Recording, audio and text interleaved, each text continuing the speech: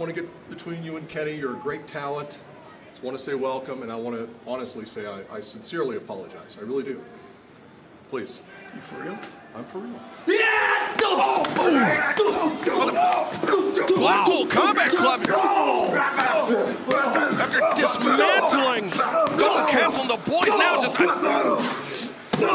an assault on Hangman Page. This is last week all over again. Oh. Moxley.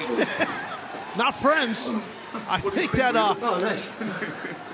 I think Don thought that they was gonna be buddies uh, with Mox. Uh-uh. And what does this mean for Don Callis? Is he going to be able to be in Kenny's corner later on tonight? We have to take a break. We got more dynamite Wow. still to come. Oh, man.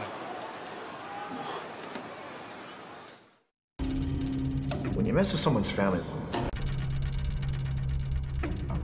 rest of someone's family.